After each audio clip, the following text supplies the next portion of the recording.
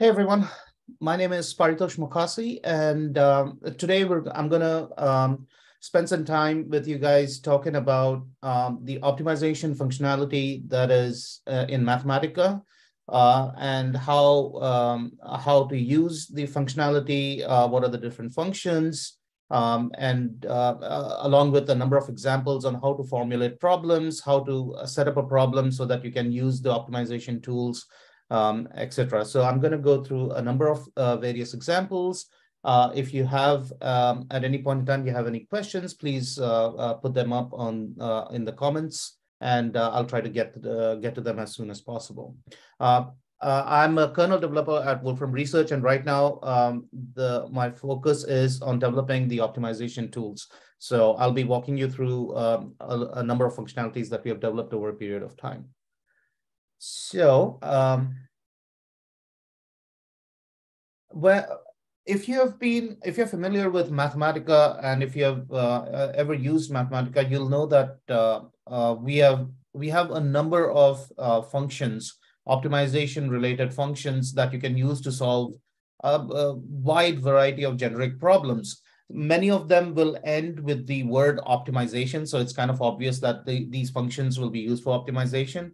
But the older ones, you know, the ones, the OG are things like uh, n minimize, uh, find minimum, find argmin, find uh, uh, uh, find maximum, n minimize, minimize, find fit, so on. Um, even though there are um, uh, the, all these different functions, at some level or to a great level, depending upon which function is being used, there is a lot of interdependency that happens behind the scenes between each one of these functions. So we try to leverage our own technology in order to, um, uh, to, to solve the problem in the most efficient way possible. Um, uh, so if we uh, internally, if we detect that a certain problem is, is of a certain form, and uh, uh so if we if we detect that to be true, then we'll we'll try to use the most optimal algorithm in order to solve the problem, and that's kind of behind the scenes. This happens within the optimization framework.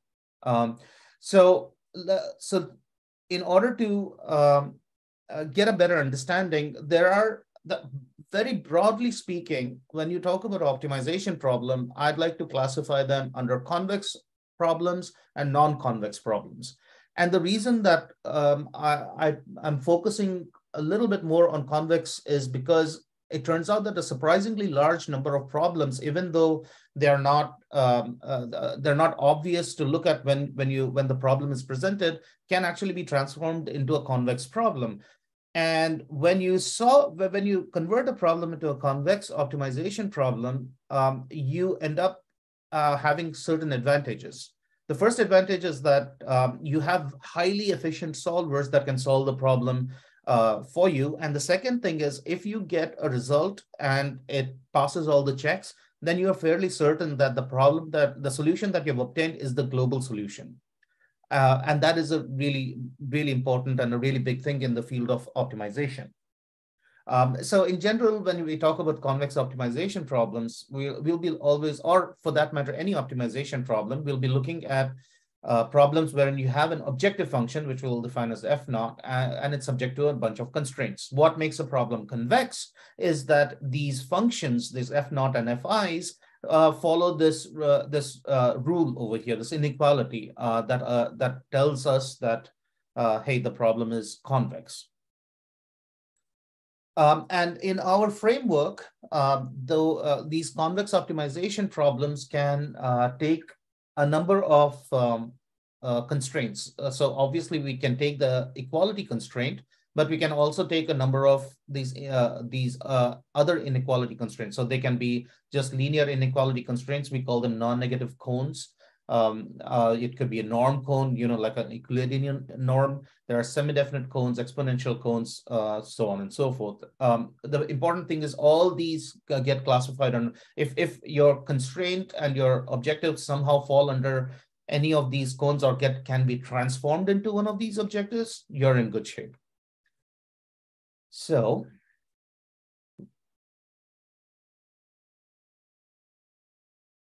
so the, the way I tend to look at uh, convex optimization and conic optimization problems is that you start, we have the smallest subset is a linear problem, which means that the objective is linear and the constraints are linear. And then if you if you go a little above that, you go to quadratic optimization, wherein the objective is quadratic and the constraints are linear. Second order cone is when the constraints are um, of the norm cone uh, uh, point. Semi-definite optimization is a superset of a second order cone and so on and so forth. So if you encounter a solver or if we have a solver that can solve a general conic optimization problem, it can it means that we can solve all the other problems because we can transform a linear optimization problem into a semi-definite and or a second order uh, or whatever. But we can't go the other way. We can't take a linear uh, a semi-definite optimization uh, problem and expect a linear optimization solver to solve it. So that's why we try to focus on the most generic kind of solvers and um, uh, you know they the performances in in many cases is comparable but they're also quite robust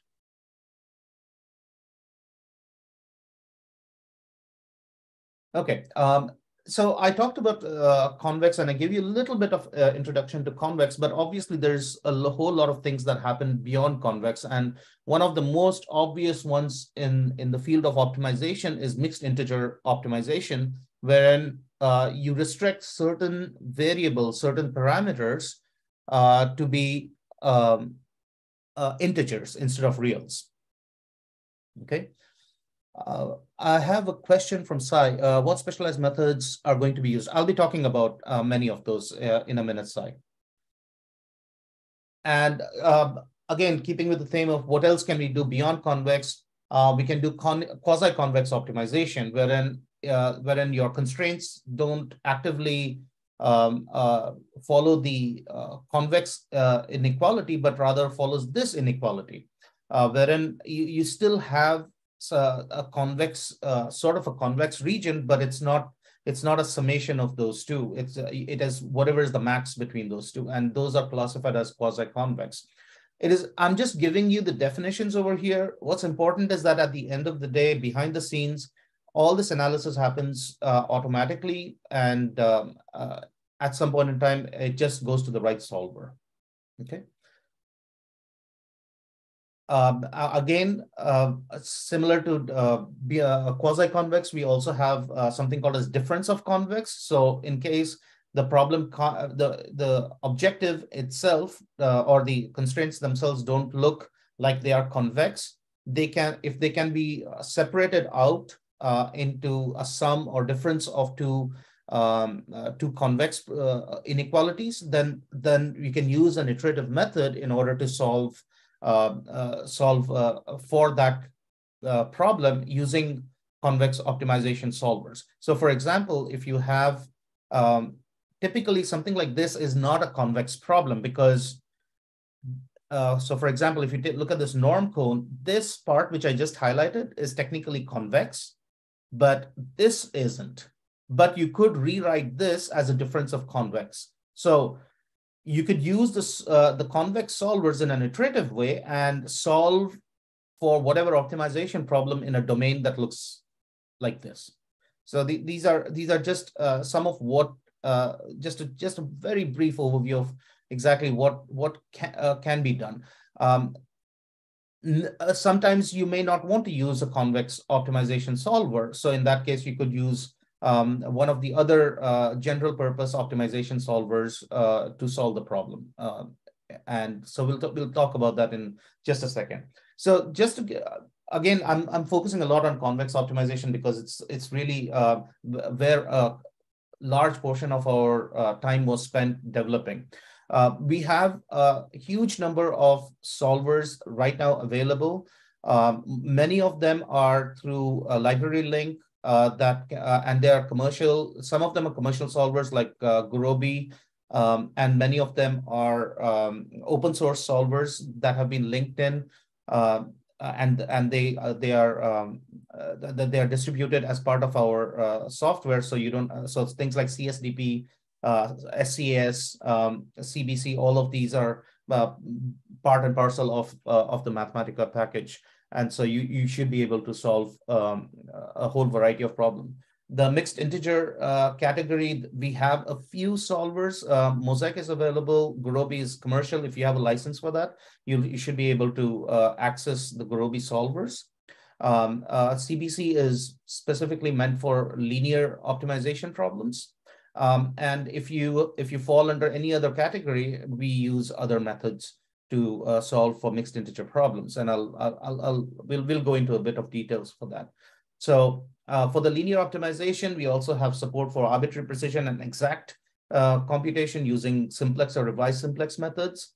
For quadratic optimization, we have a large set of um, um, uh, solvers uh, and depending upon the heuristics and how how this quadra how a quadratic optimization problem can be um, uh, can be uh, labeled, we can we can go to uh, uh, various specialized solvers that will solve for quadratic optimization problems. Um, second order cone and semi-definite previously we would solve it using by converting the problem into semi-definite optimization. Uh, but we also have specialized um, methods. They might be a little slow, but like we have um, functions that will allow you to transform a problem into a set of linear problems using uh, what is called as a polyhedral approximation, and you can then solve it as a linear optimization problem. Or we have uh, specialized uh, methods called, uh, which we have, which the method is called Fischer-Burmeister, which you can use to uh, solve the problems. Um, we also have support for uh, for conic optimization, general purpose optimization problems using IPOpt, which is a very, very popular solver, um, uh, and it's uh, it's actually remarkably fast. For the mixed integer, we use outer approximation methods, and I'll go into details on that um, when we when we get to the appropriate sections. So that is for the convex optimization. Um, for the local optimization methods, uh, we have um, you know the, the, the, usual gamut of uh, optimization solvers. We have basic gradient methods, conjugate gradient, Newton methods, Levenberg-Marquardt methods, and so on. Um, with the IPOpt, uh, uh, which has which was introduced in version 11, you can now use uh, IPOpt directly. Uh, internally, it can it will also call IPOpt even if you don't specify the method.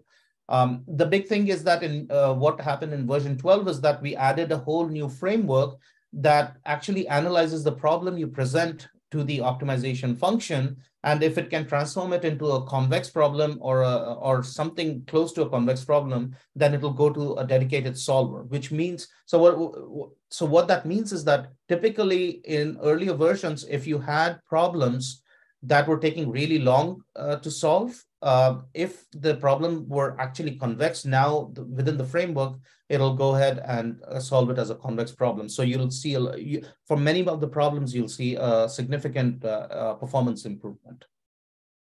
Um, so uh, you could access many of these unconstrained optimization problems or these local methods through find minimum, for example.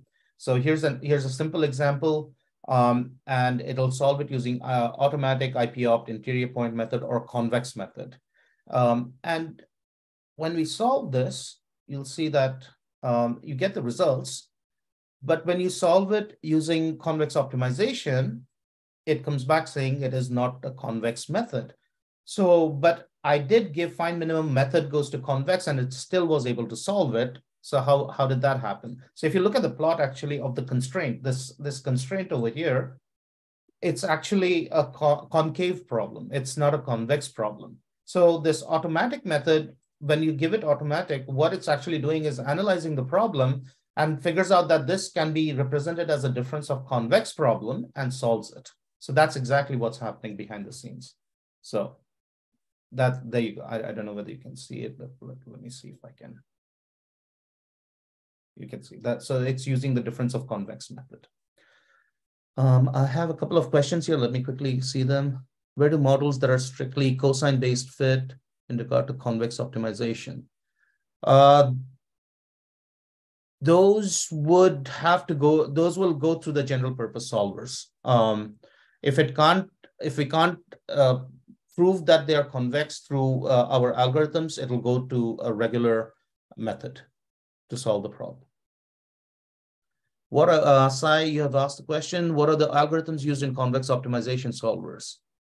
Uh, well, we talked about uh, the different solvers that we use. Um, uh, Newton-Raphson, gradient descent, these are general purpose uh, solvers. They don't take into account the uh, structure of the uh, underlying solver. So, um, so for example, um, if I go back, if you, so the, so these are the solvers that we would use. Um, SCS, for example, is a split conic solver. So this is uh, these are very famous solvers. There are papers out there you can read. What it does is it it basically splits the uh, number of uh, the constraints out and iteratively uh, uh, solves it using a projection method and then uh, obtains the solution. So the, I don't know how much detail you want me to go into in terms of. I mean, there are theses written just on topics of how the CSDP solver or how the DSDP and or SCS solvers, um, what underlying uh, methods they use. I mean, they're, they're very specialized solvers for this. So um, we, you, I, I, would highly encourage you to go uh, on their uh, documentation pages in order to, um, uh, to, to figure out the details. Same thing with things like uh, OSQP. So this that would be outer sequential quadratic programming. So it it uh, it iteratively uh, makes a subproblem that is quadratic in nature, solves it and updates it, and that's how it does the does the problem. So, okay. Um, what about global optimization? Now we do have some uh, uh, uh certain methods. Nelder-Mead, it is cheap, but you know it's it's not really a global method, but it's fast. We have simulated annealing, differential evolution, which is the most robust, but it can be a little expensive. Uh, random search is more of a DIY in because you have if you if you don't give it enough number of points, you know it might it might not find the global minimum, but uh, uh, you know give it enough number of sample size and it, it should be able to find it. Convex, uh, which I've talked about extensively for the past 15 minutes, is basically if you if it finds a solution, it's guaranteed to be global. Okay, so um, we also what I should mention is that we have a very uh, robust uh, open source solver called Couenne that has now made it into version 13. Um, that should massively expand uh, the ability for us to solve uh, uh, constrained global optimization problems. Uh, this is a this is a very well-known solver and is now available within Mathematica. Um, so, for example, here's um, here's an example where it obviously has is not a it's got many multiple minimas and and what have you. And uh, if you were to plot it, it you know you can you can clearly see that there are multiple minimas over here. And with nmin value, you can you can solve it. And many of the simulated annealing differential evolution, when they give the true global minimum, but like things like random search, Nelder-Mead don't. Um, IP-opt also gives you if if you call um, uh, uh, IP-opt from within random search so that each uh, sample size uses IP-opt to find its local minima, you you do you are able to get um, uh, the global minimum. Um, same thing if you increase the number of search points, you you you will be able to get the global minimum. It's just a question of how expensive it would need to be. Okay, uh, let's move forward. So let's let's jump into examples because I think I've given you enough theory and exactly uh, you know how um, what solvers are there, but let's let's work our way through a series of examples and hopefully that will give you an idea of how exactly you're supposed to use these um, solvers. And uh, there is, it's not just about the solvers, it's also about the ease of how you can formulate a problem so that it's very intuitive and uh, you know doesn't uh, require you to do a massive amount of coding. And the, that's what the uh, that's what uh, is happening behind the scenes. A lot of really uh, high-end parsing happens that allows us to transform the problem into a very good way. So here's a cantilever beam problem wherein you know you have a beam with the number of segments and there's a weight to it. And the question is what should be the shape of this beam? So instead of designing it as a continuous thing, we take the cantilever and we uh, break it into these square cylindrical blocks and, uh, and figure out what the dimensions of these blocks should be in order to generate the, um, generate the uh, final cantilever shape. Uh, so in this case, uh, for this example, I've decided to use 16 of these blocks in order to figure out what should be the shape of the cantilever. The more, as you increase the number of these blocks, the more it will lead to the uh, true uh, solution. So um, what uh, the objective is for us to minimize the weight. of the of the um, of the cantilever beam. So we set up the constraints, uh, which are uh, based on the stress constraints. And notice it's very generic in nature in the way I have written it down. Uh, I haven't specified any of the parameters yet. We'll do that at the very end, but uh, we can keep it as generic as possible over here. So I've uh, specified the stress constraints. And then what we do is iteratively, as we go from one beam to the other, the uh, deflection that happens on the end of one beam is the start of the deflection on the other beam. So we iteratively, we can set up the constraints. And that's what we're doing in this do loop over here. And then you can say that, well, the maximum deflection at the end of the final beam is supposed to be some Y max, which we haven't defined yet. So uh, we'll, we'll hold on to that.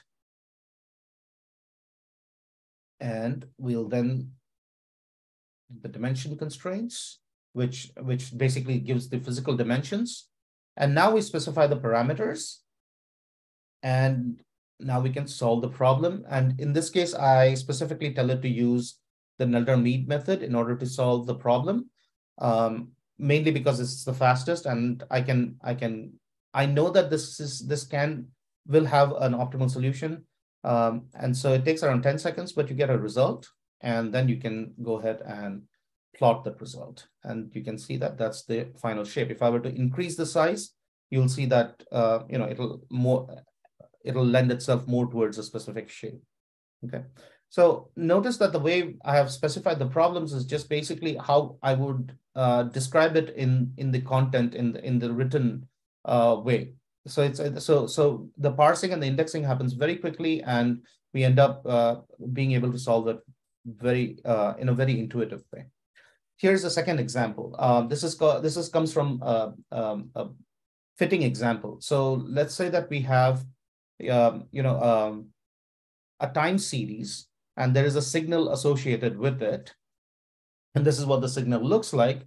And our um, aim is to uh, approximate the signal, this true signal, using a bunch of um, standard library functions, uh, lib library, not the library for Mathematica, but uh, you know a set of predefined basis functions. In this case, we are using what are called as Gabor basis functions, which are just exponential functions uh, or Gaussian functions that have been shifted and uh, translated and um, you know made wide or narrow. And we don't know how many basis functions are needed to approximate this, so we generate an entire dictionary of these basis functions. So if you were, so I'm constructing this and there are around 30,000 basis functions, but 30,000 basis functions are is uh, essentially overkill for this. What we want to do is use as few as these basis functions as possible in order to get a good approximation of our original function. So if you want to look at what the basis function looks like, it's basically you know these little packets of Gaussians uh, that that are that get translated and scaled and uh, dilated. So these are basically Gabor functions. And the question is, how many of these functions and which one of them do I need in order to approximate this problem? And in order to do that, uh, we, we can directly make use of uh, our fit function. And uh, uh, you can just, you can specify that I'm interested in the best fit parameters so I give the data. I say that these are my 30,000 basis functions. T is the independent parameter. And I'm going to do a lasso regularization. So if you look at the documentation in fit, in find fit, uh, uh, you'll see that there are these option, uh, options called fit regularization. And you specify a lasso regression. And in this case, let me just put it at one. And you'll see that out of um, 30,000, it says that, uh, well, I'll need about 47 in order to get a good lasso fit with, uh, uh, with a regression value of one. And internally, what fit is doing is it's, it's reformulating the problem and sending it off to a convex optimization problem as a convex optimization. So if you look at the result, yeah, the result is actually not that bad. This is the error plot associated with it. I, if I were to change this to 0.5, it may take a little bit more time, but the number of elements that you need just moved up from 47 to 51. So really not that much of a change, but the error becomes a little bit better. And because you have this information, the sparse fit and the best fit parameters, you can actually uh, extract which one of those basis functions were uh, used in order to construct uh, the, the fit. And then you can just use those specific basis functions in order to solve the problem. And you'll get a least, and you can uh, obtain a least squares fit for using that. Okay, so uh, one more question. How do you solve a convex optimization, which are higher order polynomial, exponential, best current approach? So we do have, uh, depending upon the problem, uh, if uh, we are, so if it's a, if you know it's a convex optimization problem, just use the uh, function convex optimization and it'll, it'll figure out if all the details uh, uh, behind the scenes even if it's exponential, it'll convert it to a power cone. Uh, it could classify it if, if there are polynomials or, or. Uh, it, it, could it could classify it as a geometric problem. So all that happens behind the scenes. Uh, Sai, so I would I would recommend that you just use the most generic function. If you know that a problem is convex but aren't sure which one, you, you just use convex optimization and just it'll solve the it'll classify it for you. Okay. Um, so um, I want to show you another example, which is an image processing example, which typically uh, you wouldn't think of it as an optimization problem, but we can formulate it as an optimization problem. So here we have an image. And what I'm going to do is I'm going to corrupt this image so that 70% of the data is missing. So you can see it's a, it's a significant portion. You can't really make out the original image from this. And, the, and we're going to formulate the, so objective is to recover this original from this corrupted data, but we'll do it using the optimization framework.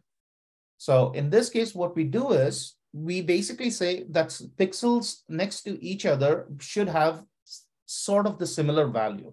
So, uh, but, and, and so you, so for any given pixel, it looks to the left and it looks to the top, uh, right and top, and says that those pixels should be about the same value. And the objective then becomes to minimize all of these uh, surrounding pixel values with those that are already known. And so technically, so this is our minimization. And if you look at it, our objective is literally a one-liner, which you can write it almost identical to the way I've written it over here. So you set up the objective.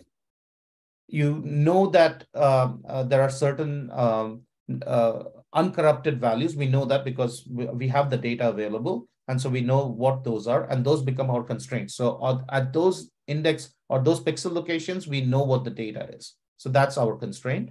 And now we solve it as a convex optimization problem, and we recover um, the entire image. It takes a few seconds to solve it. Um, it's uh, the dimension is around 75 by 75, so it takes a little bit of time to find all the all the results, but we get the result, and here is the final solution. So 70% data was uh, corrupted.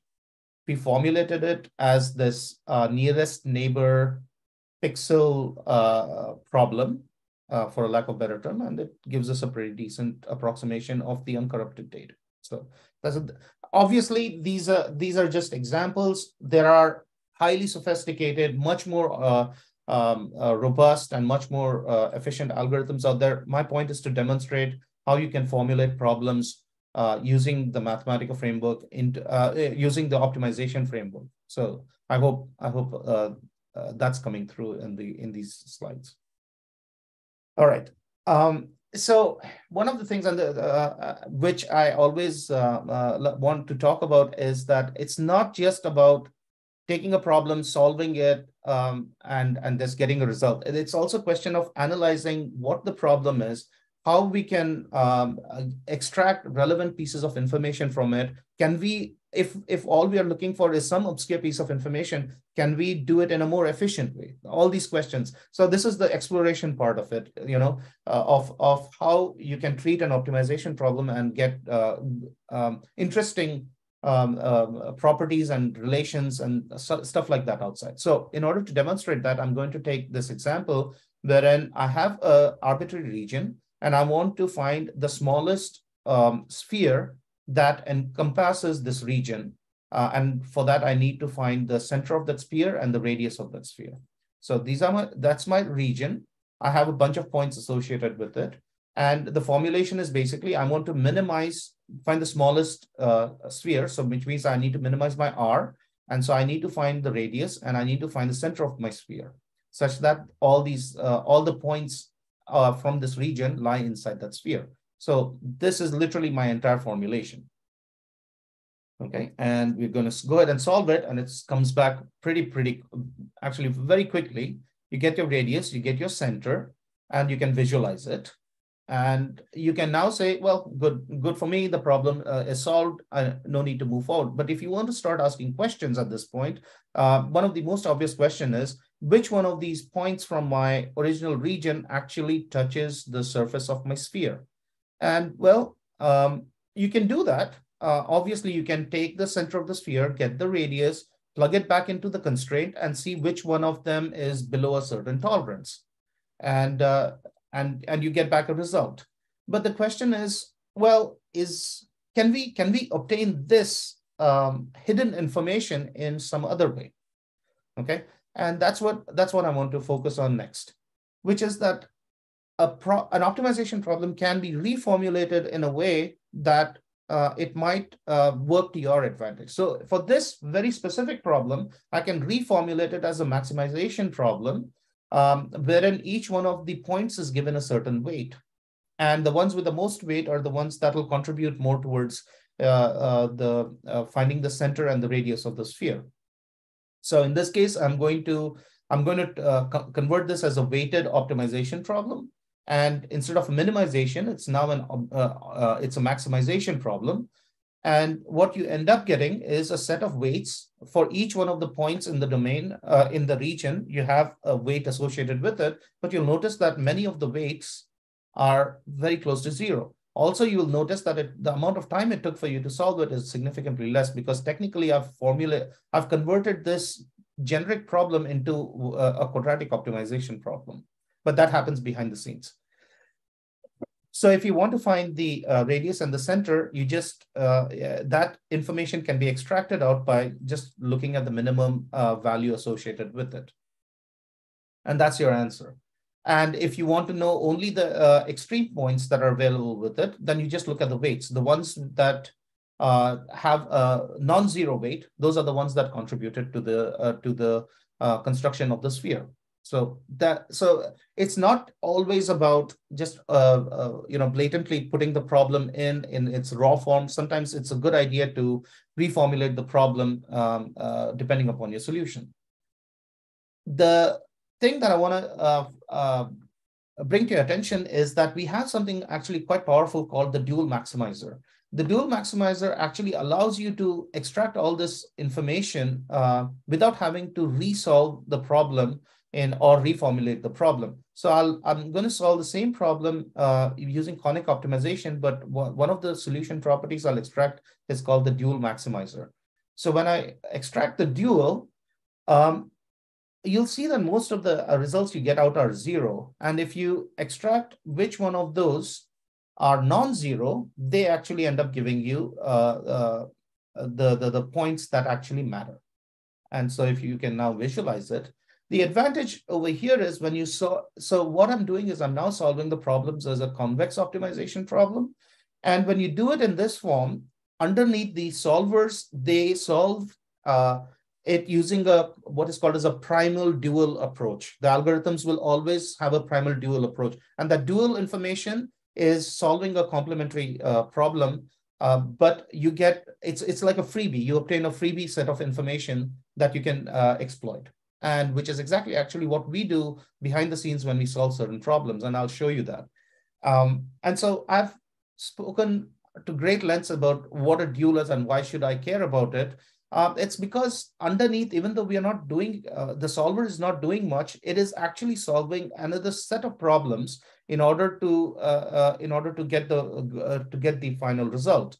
And that can, uh, that contains a lot of useful information. So let me show you a couple of examples of that. Um, let's say that I have, um, this is a geometry problem. Let's say I have two convex polygons and I want to find a line that uh, uh, that bisects these two, uh, such that you know the distance between that bisecting line is um, is the same. Uh, the distance between the between the line and these two polygons is minimized. And so you can uh, formulate the problem actually as a simple one-liner. You can basically say I have, I want to minimize the distance between point P1 and P2. Um, and uh, that, uh, so this P1 and P2 are elements, or P1 is an element of this first convex polygon, P2 is an element of the second po uh, convex polygon. And I want to find the shortest distance between those two, uh, between the points. And it gives us a result. So it says that P, this is the point on um, polygon one, and this is the point on polygon two, and that's what it is. But if from this, you can also extract the, the separating hyperplane that'll that uh, separates these two convex uh, polygons. And you can do that using the dual. So you can what you can do is you can extract out the constraints and you can extract out the dual, and you can then construct a hyperplane using that dual information. And all through this uh, one single formulation. You don't have to change anything. You just, it's a question of how you interpret your dual information. So um, the reason I spent so much time in this is because I wanted to share with you what we do behind the scenes when it comes to mixed integer convex optimization. We actually use this dual information, which I've talked about in order to generate um, what are called as outer approximations of the of the of the constraints of the region and use that in order to uh, solve uh, mixed integer problem. So uh, instead of going through the theory, let me show it to you graphically through an example. Uh, so here we have a very simple example. You have um, an objective, negative x, negative, neg minus x minus y, and you have some constraints. And, but you want the x to be an integer. So you, you can just send it off to convex, convex optimization or conic optimization, it gives you a result. What's happening behind the scene is we are actually using the dual information in order to uh, obtain this solution. So let me, let me walk you through that step by step. So first thing we do is we'll take the conic optimization, but instead of uh, uh, specifying it as an integer, we just give it as a real. So this is called as a relaxed problem. And we extract the primal and the dual information from it. Now, from that dual information, just like I did with the hyperplane problem, I construct the hyperplane for, for the associated with this, uh, with this relaxed problem. And so this is the relaxed problem, and I, the, the, I obtain a hyperplane associated with it. And what I do is now that I know the equation of this hyperplane, I plug that back into my uh, into my uh, into a, a linear optimization problem with this hyperplane information and I solve my uh, solve a linear problem that says that I want it to be an integer. And I get a value of negative one. I plug that negative one value back into my original relaxed convex problem. I solve it and notice that I have, it now has reached the, um, the, uh, the optimal solution and if you look at the hyperplane associated with it, you can see this was the first one. There's my second one, and it finds the solution here. So with it, so this outer approximation method using, so what we're doing internally is we're using this dual information recursively in order to solve um, our convex optimization problem. And if I if I uh, repeat it multiple number of times, I'll get the same result. So it, it reaches convergence, and in general, it reaches convergence fairly, fairly quickly. Okay, moving on. Uh, so uh, I've, I've left this uh, slide over here for you because there are lots of tips and tricks that you can use to model integer um, or mixed integer problems that will allow you to um, uh, uh, do all sorts of things. Uh, if you go to um, uh, the Wolfram blog post, I've actually put a, put together, I've written a blog on how to uh, generate Sudoku solvers and how to generate Sudoku problems uh, using this mixed integer uh, approach. And I highly recommend that you uh, look through that. So there's a lot of things that we can do with, uh, with, um, with optimization by manipulating it and modifying it into a mixed integer problem. one note of warning is that just because you can doesn't mean you should because mixed integer is actually a, uh, is uh, quite an expensive thing to do. It's uh, it's it's a very hard uh, thing. It's np hard and it's uh, it sometimes it can it can bog your machine down. So um, th that's just a cautionary thing. But having said that with this kind of modeling tips and tricks you, the kind of problems that you can solve can be expanded significantly. so here's here's one example, wherein um, we could solve the problem using efficient methods, but we're going to solve it using the mixed integer approach. So I have um, an obstacle um, which which is def defined using this convex mesh, and if you were to look at that, it looks something like this, right? And um, so this this convex region can be specified as a set of inequal linear inequalities. And what I'm going to do is I'm going to give a start point and an end point, which is represented by these black dots. And the object is to find a path from the start point to the end point such that it doesn't cross this obstacle. Okay, so that's our objective. So I'm going to divide my path into 10 different segments, uh, into 10 different segments, and each one of them is uh, of that uh, points, those 10 points uh, are represented by an X and Y coordinates. So that's my, those are my variables, P vars. And then um, I want uh, I want to make sure that the distance from the start to the end point is minimized. So that's what I'm trying to do. And so, so that's my objective that I'm trying to minimize. And uh, I know what my start and the end point of the constraints are because those are known. I give some additional information saying that in, between these two points of my segment, I don't want too much of a distance between them. Otherwise, it can just, uh, it might, the solution you get might not be uh, as optimal. So I give us a distance constraint. And then uh, at this point in time, this is where the mixed integer magic happens. I basically say that each one of the points should adhere to this constraint, uh, wherein if uh, if a point if a point is inside the convex polygon, then it's obviously shouldn't be there. So in order to make sure that all the points lie outside the polygon, I use mixed integer in uh, uh, approach in order to uh, ensure that those points will be outside of my polygon. And so those are called as, uh, so I've set up set that up as avoidance constraints. Okay, um, and I set that up and we'll go ahead and solve this. It turns out that this is a quadratic optimization problem. Takes a few seconds to solve it, but um, but you'll eventually get a result uh, for all the uh, positions of uh, of this discretized uh, um, obs, uh, the discretized path, and hopefully it'll end.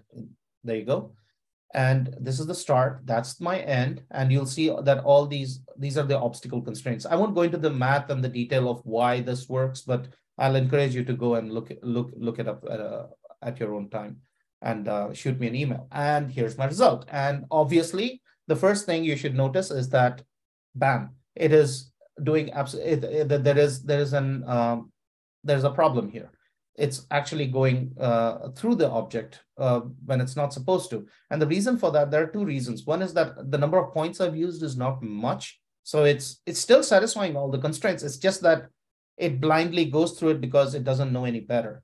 So there's there are a couple of approaches to fix a problem like this. One is we can increase the size of this polygon and then solve the problem again. This will allow it to go past it. So in order to do that, the simplest thing to do that for this problem is to take this b, uh, so the, the polygon is represented by ax plus b greater than equal to zero. So if I were to add a, a small offset to it and then solve the problem again, it'll it'll recompute and it'll it should return a new solution that takes into account this expanded polygon. There you go. And now when you see the problem, it has it has shifted. So essentially what I did by adding that offset in my linear inequality constraints is that I made the um, uh, I made the thing much bigger. So if I were to do the region plot of a dot x plus b greater than or equal to zero, red. Uh, and yeah, I am doing it in the most inefficient way possible, but I'll just show it to you.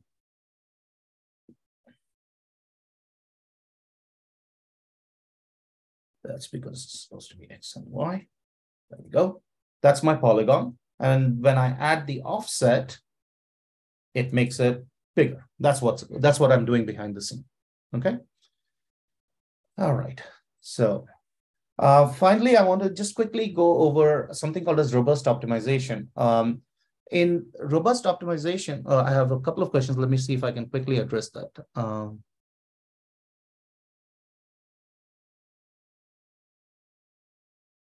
um, uh, convex and conic optimizer hyperplane information. He gets rid of the negative one and then finds a solution by approximation. Yes. What does he divide in 10 parts? I divided the path.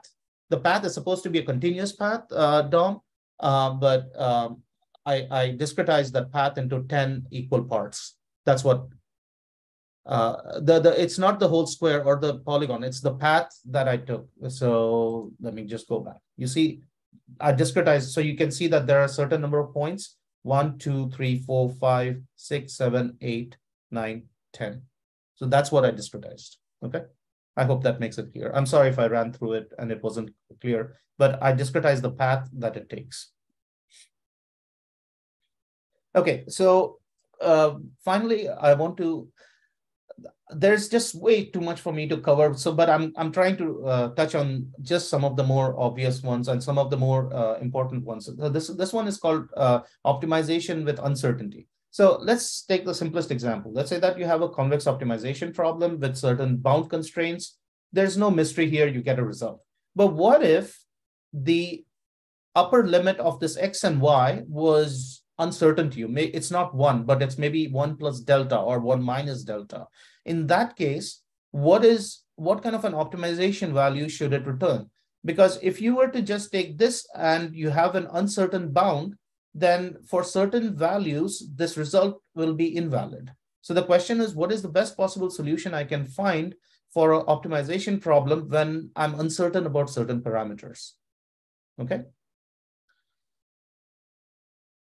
And so that's what I mean over here. Okay, one plus delta and one uh, plus delta y. Well, what if the uncertainty is uh, in, in a range? So in that case, what you could technically do is you can set up a whole slew of constraints, taking into uh, account all possible um, um, variations and combinations of delta x and delta y, set up this massive uh, new optimization problem and then solve the problem for the best possible result, in which case it takes all the uncertainty into account and you get a new result. Problem is that you can't do that for all cases. And even if you can, you have made the problem highly, highly inefficient and it's uh, sometimes it won't even return uh, optimal solution.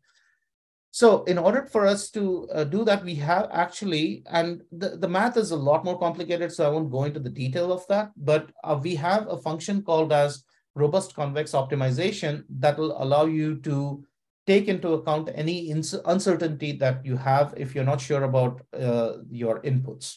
Uh, or or you know the and you know what kind of uh, uh, uh, you know uncertainty exists with, with with your data. So in this case, uh, a very typical case scenario is that you have some um, experimental data, but the measurements that you've received aren't um, you aren't sure about that. But you, but you know that they lie within an interval of negative one to one. So the question is, what is the best kind of fit I can get so that it takes into account this uncertainty on my output? Okay, so in this case, I'm going. I want to fit a cubic polynomial to this uh, to this my experimental data. So I'm going to set up the problem. I have the basis. I set up uh, what is called as a design matrix, which if you look at it, is just like it's a matrix of uh, four by n number, whatever is the number of data points. And your objective is to minimize the uh, difference between the input and the output. And you want to find the coefficients of that uh, polynomial. So that's my objective. And I want to minimize the uh, uh, L2 norm associated with it. And in this case, we use a function called robust convex optimization, wherein we have a parameter and that uh, parameter lies uh, uh, is associated with our uncertainty. And when we solve the problem, we get a set of um, coefficients. And you can, you can then check that this is indeed the most robust solution by developing your own models with different uh, parameters like we did in our that simple example before.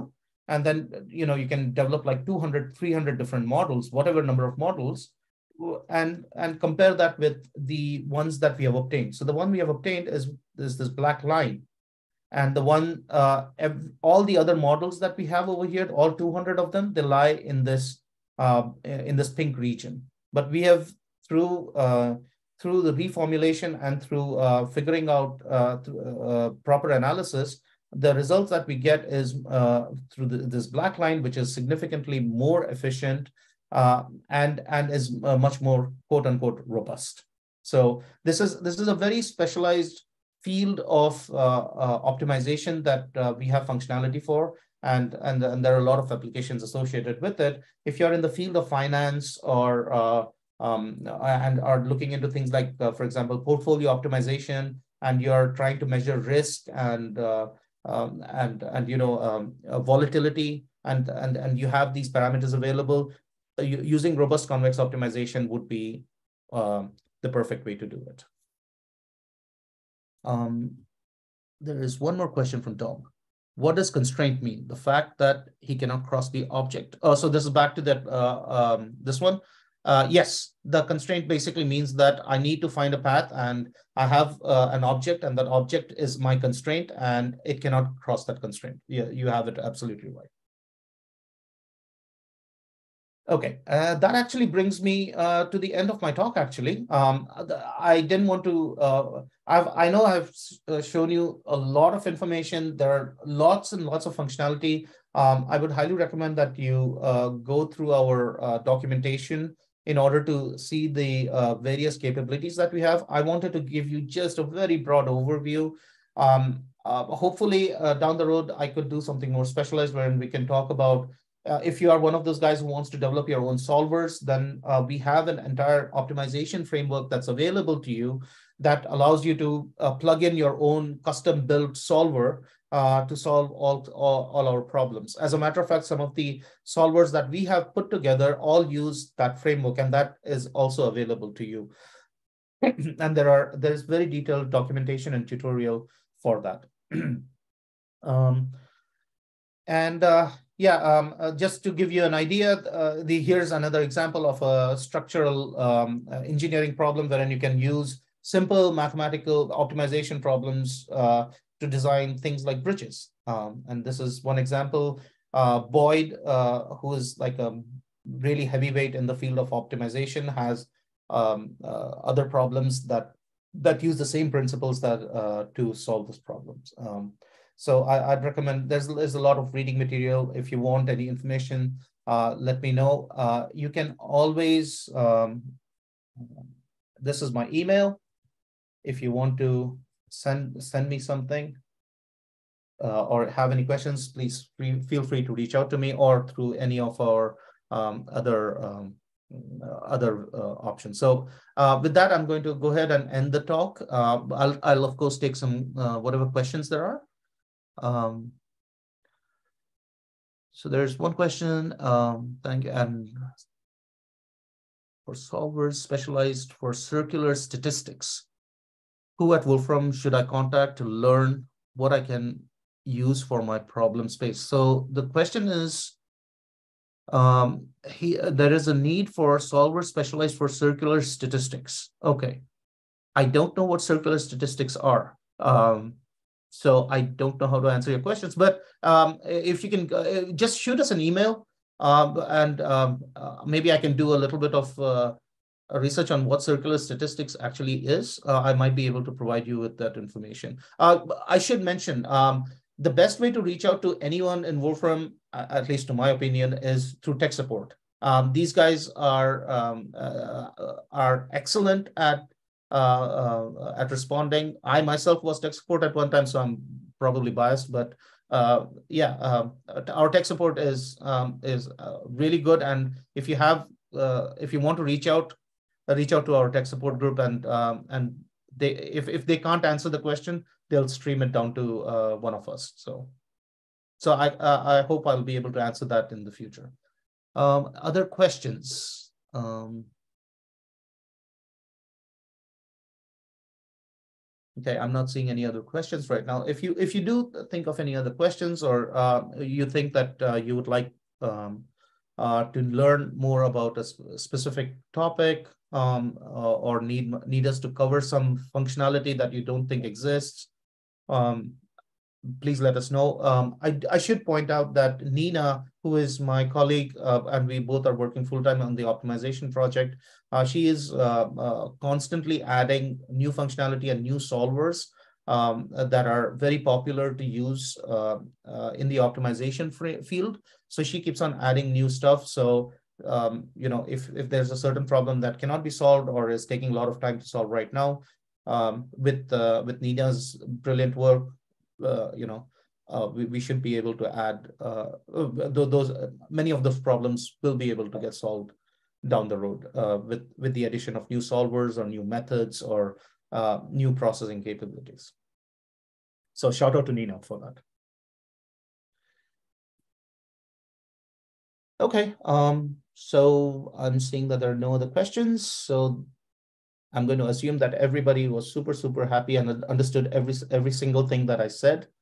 Uh, and uh, we are going to, let's go ahead and uh, close the session today. Um, um, thank you once again for all of you guys for coming and uh, listening to the talks. I really appreciate it. And uh, hopefully uh, we can we can do more of these down the road. So with that, I'm going to Uh, stop sharing my screen. Uh, thank you once again.